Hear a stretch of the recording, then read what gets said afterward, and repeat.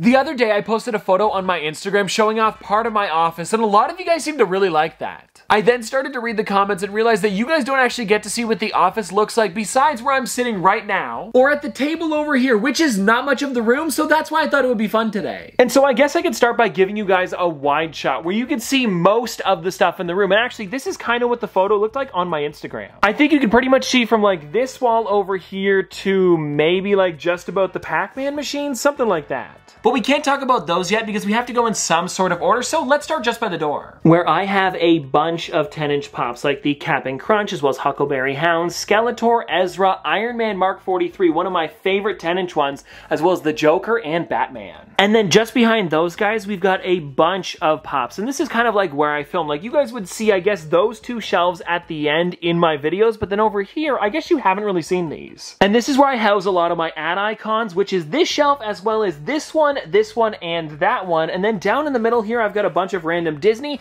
but it's for a good reason because I also have Disney down here. I should probably put these together. But that's for a later date. And then above that, we've got this kind of like random shelf, as well as some Pokemon, and we've got more video game ones. And then above that, we've got my Sanrio collection. Then way down at the bottom here, we've got Harry Potter right next to the Disney ones that we talked about. Then above that, we've got Foodies, some of my favorites in the collection.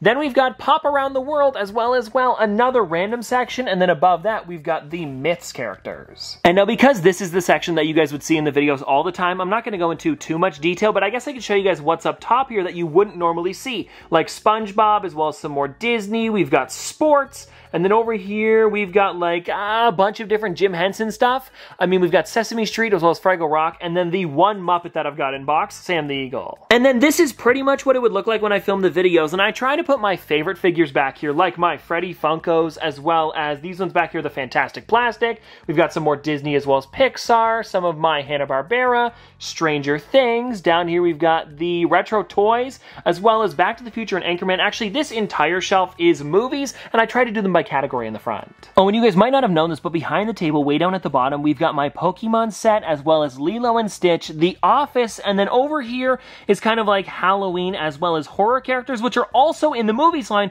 but I tried to put them together the best I could. And then the last shelf that I haven't shown you over here would be this one, and I do understand that down at the bottom here, it's very random, but I know what's down there. I just don't have to make it look perfect because it's not on camera like these shelves. And so this one is, I believe, the only television section that I've got. Then above that, we've got some animation ones. We've got more animation, animation, and then I believe animation up here too. You know what? I haven't even talked about the top of the shelves where I put a lot of my 6-inch as well as 10-inch characters. And this is the only spot where the 10-inch ones fit because the ceiling is a little bit higher. And then over here, they fit perfectly. And then in between the two, I've got this one here, the Chase Jason Voorhees. Why? I'm not exactly sure. I figured it'd be fun to put something random there, and uh, this one fits. I was like, hey, why not? Plus, I think it's a little bit more special than just shoving it down at the bottom. Oh, and I guess I completely skipped over the table. So if you guys have never seen this one before, I actually ordered them from Structube. I got these there, as well as the chairs that I always sit in. Then down here, actually, I haven't talked about this figure yet, so you know what, we might as well today. This figure here is the Atrociraptor Red, and here in Canada, Indigo has started to get them in stock, and it was the only Atrociraptor I was missing, which was perfect. And if you haven't seen this one before, it's the Atrociraptor where it almost looks like it's got like scrapes all over it. It's one of my favorites. Then right next to the television as well as anime shelf, we've got this here, guys, my Pac-Man machine that my parents actually got me for Christmas one year, and I love this thing. And I want to get the riser for it eventually because it is a little bit short, but it seems to be sold out everywhere. So if anybody knows where I can get one, please let me know in the comment section below. And then just past the Pac-Man machine, we have this wall of figures, and then this chair over here where Alf normally sits. I don't know where he... Top Alf here. Alf? Oh, hey! What are you doing? I don't know. Felt like shooting my own video. Well, we're doing a video over here today. We're doing an office tour. Oh, so I got my wacky wobble out for nothing? Uh, I think so, yeah. Oh. I apologize that we were rudely interrupted. But anyways, let's get into these next shelves here that we were just talking about. We're over here on the left. We've got some pretty interesting ones. This is where I put like my smaller subcategories, if that makes sense. So like inside of the movies line, we've got Ghostbusters ones here, and it actually fills the entire thing. So I thought it was perfect. And then below that, we've got pretty much every single Scooby-Doo Funko Pop. And then down here, we've got all of the Minions. And I like to keep a little bit of room if any new figures release. And now I moved the chair out of the way so we can see the icons as well as more icons, and I've got some of my Funko Gold characters, as well as more Disney, Disney, Disney, Disney, and then Garbage Pail Kids. Oh, as well as two of my prototypes. And now that I think about it, I showed you guys the Mr. DNA, but I never did show you my Boober, and if you guys want to take a look at him, it is one of my favorites. My mom actually traded him at Fundays for her podcast prototype. And if you guys are unaware, this is actually Boober from Fraggle Rock, one of my favorite lines to collect. I have every single one of them, and it's sick that I've now got a prototype. And now we kind of talked about these shelves earlier, but I figure I might as well at least tell you what the categories are. So down there, we've got The Simpsons.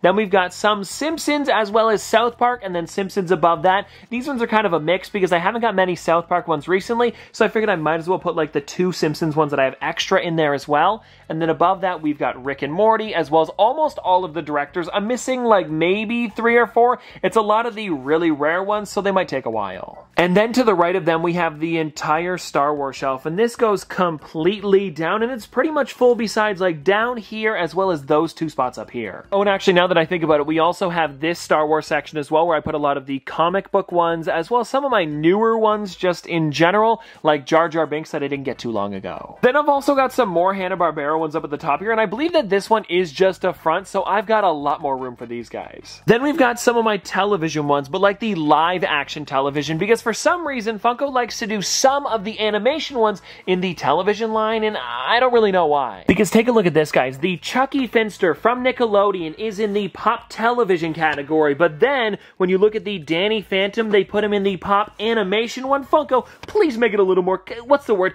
Give me some more continuity. Because they're both from Nickelodeon and they're both animated television shows. And now before I go on too big of a rant, let's keep going with this shelf here where I've got some of my Youtooz where they're just kind of random, I do know, but I had some room so I figured I might as well put them as well as some of my Disney blacklight ones in the back. Ooh, ooh, ooh, uh, there we go, that's a little better. And then way down at the bottom, we've got more Disney and then I've got my Youtooz slippers. I just got these in the other day and they are super comfortable. I mean, they are literally plush for your feet. And now I guess we can get into the table, which is a little bit messy, but it's not too bad. Like I've got this custom golden hopper over here, and this isn't the real one. I made a video on this a long time ago. If you guys want to check it out, when it first released, I found that they were selling these stickers on eBay, so I figured, hey, I might as well make one. And so this is not a legit figure, and I know a lot of people got mad at me for making this, but I figured why not? It was just for fun. I'm never going to be selling it. And then also on this table here, we've got like some Pokemon cards, as well as tape and scissors, which I use for my videos a lot, like an extra battery charger, a Funko mug, some Lego, the rotating base that you guys see all the time in the videos, as well as just a buttload of Pokemon that I do not know where to put right now. Then we've got my second filming location, which you guys see a lot, and it's actually probably from something like this? Yeah, right about here. And so I figure since I'm to be filming here, I might as well put some plush on the couch. So we've got my Fall Guys one, as well as the Youtooz Godzilla, and then above that, this is all of my vaulted vinyl display vault airs, where I put a lot of my rarer and favorite figures. And so you guys can see we've got a Disney one, as well as ad icons, and then over here to the right, we've got Freddy Funko. Oh, and then in the window, this is where I put a couple of my 18-inch characters, just because they are so massive, I don't know where to put them. And then speaking of vaulted vinyl, I also have this down here, my vaulted vinyl display case. If you guys want to check this out, I've got a lot of my like super rare Freddy Funkos in it, and I should probably do something with these, and I know I am going to be doing a Freddy Funko collection video soon. I'm just waiting on the rest of my Funday stuff to arrive. Then in the corner here, we've got all of my skate decks, and I do have pretty much every single one that Funko has created so far in recent years, and I do know that there was one over at Fundays, which I did not get, as well as ones that came out a long time ago, like the Golden Girls one, that I was just never able to grab, and I do remember that they had them on the Funko shop for a while, like their own like skateboard shop. I wasn't able to get any of those either, even though I really do want some. And if you guys haven't checked out my Fundays video yet, I definitely recommend it because we get some really, really crazy figures in that one. And now here we've got just like a random section with like my play button, which I still need to hang up, as well as some bigger figures like the gelatinous cube, as well as these guys down here, which are some of my favorites. I just don't know where to put them. Then above that, we've got some 10 inch ones, as well as the Burrow with Molly Weasley, and then again, some of my favorite stuff like my Youtooz, like the figure as well as the plush, which you can still get at Youtooz.com. And then up here, guys, we've got my giant Lego picture frame. It's crazy. Oh, and I can't forget to talk about this one, guys. My first ever Funko Pop, Sheldon Cooper, the one that I got from my brother back in 2014. So now that we've gone through this half of the room, let's get into the kind of newer section because we did just add a few shelves over here that I think are some really great additions to the room because my dad was kind of bored for a couple couple days and he wanted to kind of like renovate a little bit, so we added these bad boys right here. So now it's almost like a bit of a nook when walking through here, and if you guys want to check it out, it's pretty cozy. I like it. And before we get into what's on the inside, I guess I can show you guys this because there isn't really much going on here. It's just like a lot of the bigger figures that I didn't really know where to put. And eventually these shelves here are going to be looking more like these ones over here, but because I don't really have enough to fill it, I figured it could be fun to show these guys off just a little bit better. Oh, and then also down at the bottom here, we do have some of my 18 inch figures with Groot,